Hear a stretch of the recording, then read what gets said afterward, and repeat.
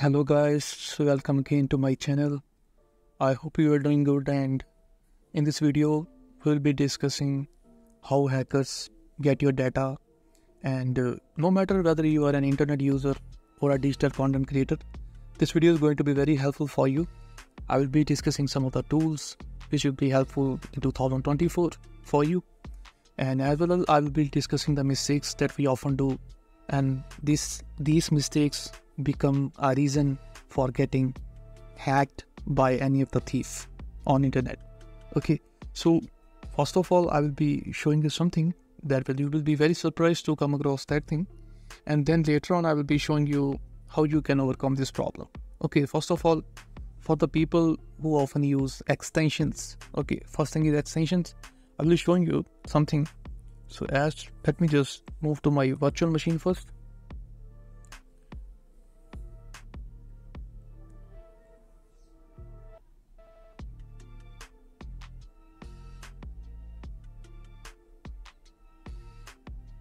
okay so now we are inside our virtual machine. So here i will show you. You can see i'm not running anything right? Am i running anything? No. I'm not running anything. If i check my task manager you'll be surprised to know that there are some instances going on. You can see brave browser brave browser. So there are a lot of tabs over here. Also they have consumed a lot of memory as you can see so I'm not running anything. Why are they running in the background? You must check these things, no matter whether it's Chrome, Microsoft Edge, or any of the browsers, right? If I open that particular profile, I know which profile is it, and I also know what sort of extensions are. I'm aware of that, but I will be teaching you something very helpful by just showing this example. You can see here I have added some extension.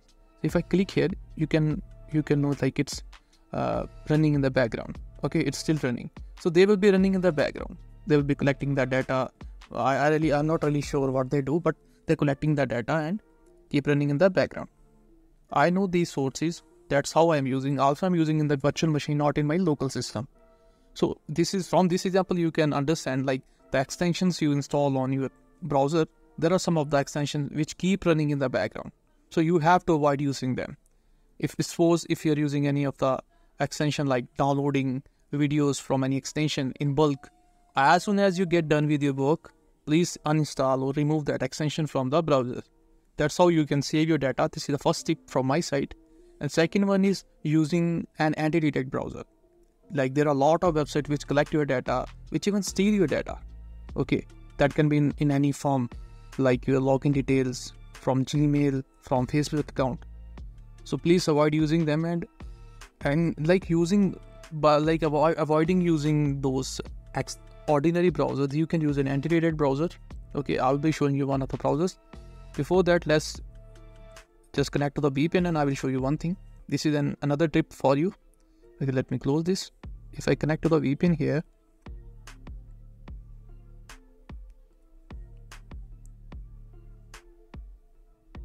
okay so we are connected. Let's open the browser and see how anonymous we are. Okay if i browse a website and i click on enter.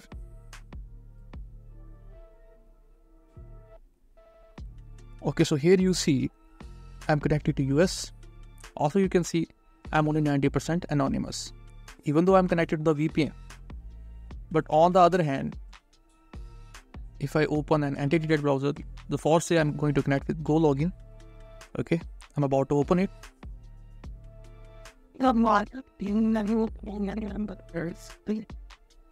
the.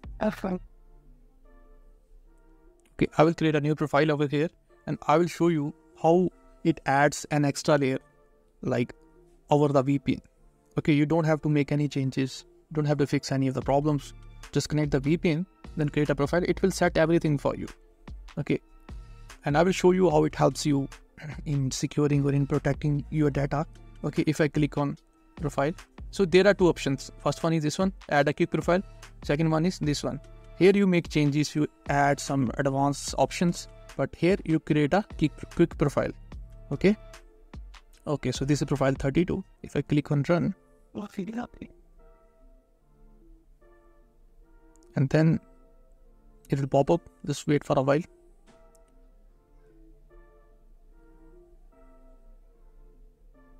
Okay, So here we will check for anonymity and then I will show you something else.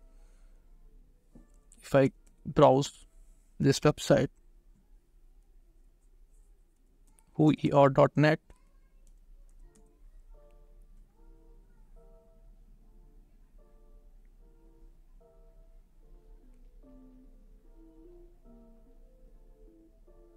you can see I'm 100% anonymous. So you see I, I made no changes, even zero changes at all. But this browser has already just gotten all the details about the IP, about the language, about the time region. So what happens when you use any ordinary browser, you have to tell the browser about the time, about the location, so that they can make your identity in in like make your identity in that way. But in on the other hand, when we talk about GoLogin, you don't have to do anything. Okay, everything is being set by GoLogin, like your location or the regional language as well as the time. Okay, so you you can see I did nothing. So, but on the other hand, when we use other browsers, we have to tell all the details. Not only this, as to so suppose uh, you have to use some extension. You really you are not really about like aware about about the publishers, but you still want to use any extension. So what you can do, you can just open any profile. You can create a profile, right? So after that, you can just uh, go to Chrome extensions. Not even not even if, if the extension is not available on Chrome, you can use from the third party extension. But as long as as soon as you get done with your work, you have to remove that. And if even if you don't remove that, the extension won't run in the background. Why? Because you're using this profile. Okay, as soon as you don't have opened this profile, nothing would run. Okay, you have to open the profile, then all the functions will run. Okay, once you are done with your work, Okay, what you can do, you can just click on three dots, click on delete, you can delete the profile.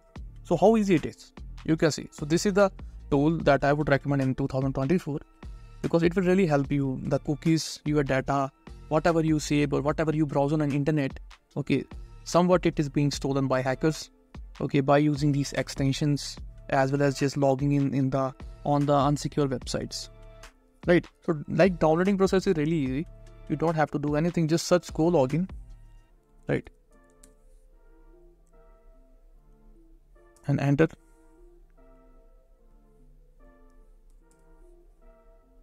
here. This is the first website.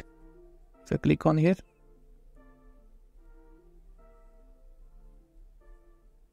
So here you have to click on windows. Okay it's it's available for all platforms even for android mobile phones as well. It's, it's really going to be very helpful for you. If you if you are an android user you can use it. And also you can make a lot of profiles on mobile phone.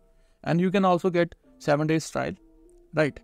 So if you really want to use it for long if you want to purchase a plan you can try the paid plan. That's going to be really helpful. If you wanted to run it for a long time you can use my uh, promo code that's on the screen. Okay that will help you to get 40% discount no matter if you buy it for a month or for a year. Okay that would be applied on both the plans. So that's how you can save yourself.